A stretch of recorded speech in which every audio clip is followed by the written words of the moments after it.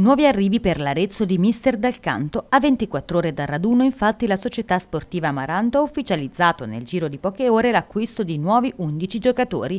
Ad arricchire la rosa Amaranto sono così arrivati l'attaccante italo-brasiliano Matteo Brunori Sandri dal Parma, classe 1994, lo scorso campionato 23 reti in tre partite col Villa Biagio in Serie D e il trequartista Christian Chedi, italo-albanese dalla San Giovannese, classe 1996.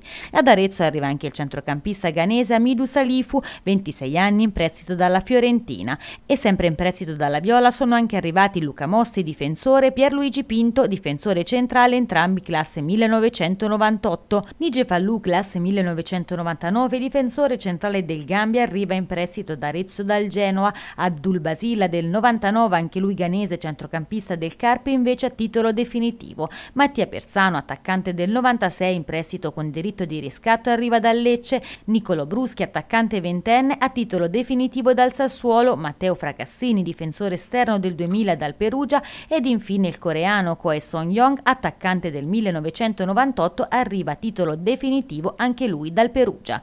Arriva in casa Maranto a titolo definitivo anche Riccardo Melgrati, portiere classe 1994. Melgrati è cresciuto nelle giovanili dell'Inter e ha alle spalle 90 presenze in Serie C. Tante dunque le giovani speranze per Mister Del Canto, di cui ben 7 su 11 under. Ma intanto oggi è il giorno del raduno per gli Amaranto fra testa ai campi dell'Olmo Ponte. In programma per questa sera la cena organizzata da Orgoglio Amaranto per salutare così la squadra. Domenica invece partenza per il ritiro di Bagni di Romagna dove inizierà la preparazione vera e propria dal prossimo lunedì. Gli allenamenti si svolgeranno nella vicinissima San Pietro. La squadra resterà in Romagna sino alla vigilia o all'antivigilia della Coppa Italia in programma per il prossimo 5 agosto.